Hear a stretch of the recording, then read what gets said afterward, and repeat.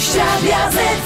A gościem Nadia Z jest wicemarszałek Senatu Zbigniew Romaszewski. Witam, Monika Olejnik. Dzień dobry. Dzień dobry. Dzień Panie marszałku, o co pan walczy występując z klubu Prawa i Sprawiedliwości? A żeby parlament zaczął być, znaczy zaczął przypominać parlamentem, to znaczy, żeby parlamentarzyści, których w tej chwili tak spadają opinie na temat polityki, zaczęli być parlamentarzystami, czyli żeby mieli prawo wypowiadać własne zdanie, własne poglądy, żeby dyskusje, które się toczą, nie były właściwie napaściami, tylko żeby były, no tak jak to było za dawnych czasów. Ale dzięki PiSowi pan został wicemarszałkiem Senatu, panie marszałku.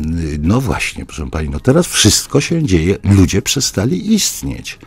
Istnieje tylko partia.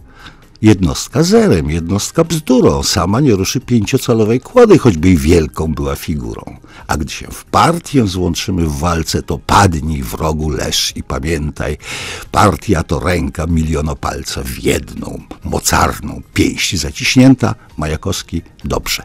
Ja to, jak pani widzi, umiem na pamięć, bo mnie tego nauczono.